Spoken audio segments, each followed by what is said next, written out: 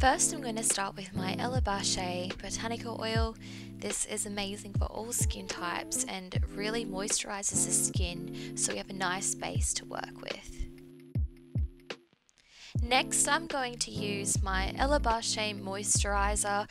I have been using this for years and it works wonders for my skin.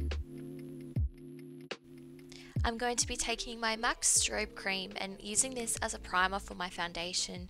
I'm just going to press that into my skin, focusing on the high points of my face and where you'd want that nice highlight. Next, I'm going to take my Tarte Concealer to use this as a base for my eyeshadow. This is a very full coverage concealer, so I like to use this on my eyes to cancel out the purpleness and I'm just going to blend that in with my Beauty Blender.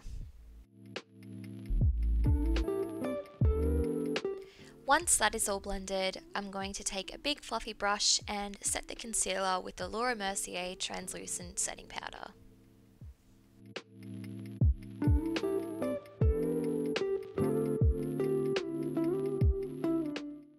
The eyeshadow palette I'm using today is the NARSissist Wanted palette I'm going to be taking the two lighter brown shades and with a big fluffy brush I'm going to gently brush that into the hoods, I think it's called, of my eyes to create a nice base shade.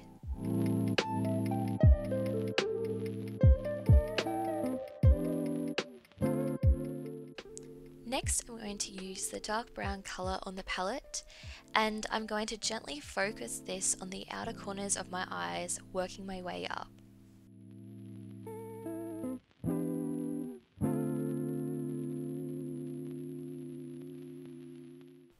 I'm going to take my big fluffy brush again and I'm just going to blend that darker colour in with the lighter brown colour so it's a seamless transition.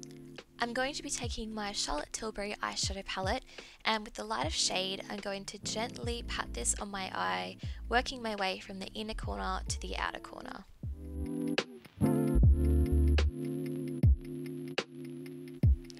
Next, using my favourite brow pencil by Hourglass, I'm going to brush my eyebrow hairs up and then I'm going to gently fill them in starting from the bottom working my way to the corner. Once I've filled in my eyebrows, I like to use the Benefit Gimme Brow and use this on top just to set the brows. I'm going to take the light shimmer shade from my eyeshadow palette and use this to highlight my brow bone.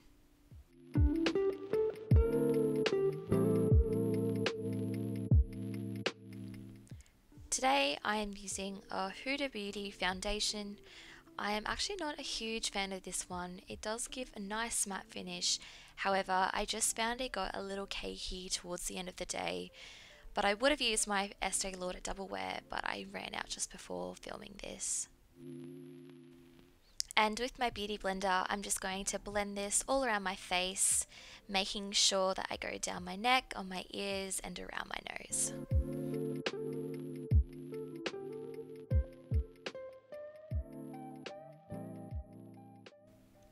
Next, I'm going to be taking my Tarte Concealer again, and I'm just going to place a little bit under the eyes this concealer a little bit goes a long way. It's very full coverage, um, but it has a beautiful finish.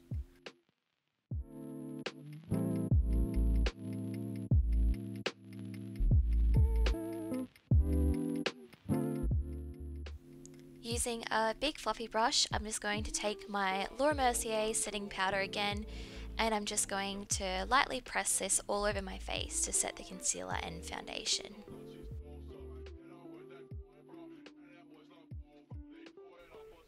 For blush, I'm going to take the Hourglass highlighting palette and I'm going to use the two light pinker shades and gently brush this over my cheeks.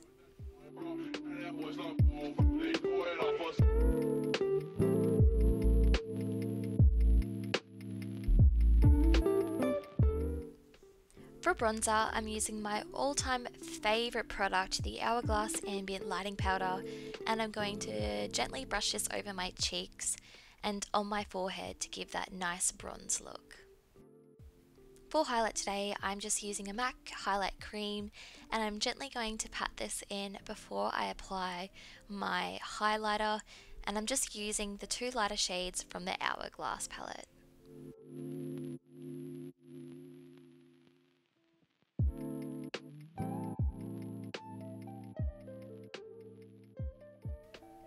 Next, I like to do my mascara and I'm just using my favourite Too Faced mascara. Before any lipstick, I like to prime my lips with the MAC Prep and Prime. And I'm just going to be taking MAC's lip pencil in Whirl to line my lips.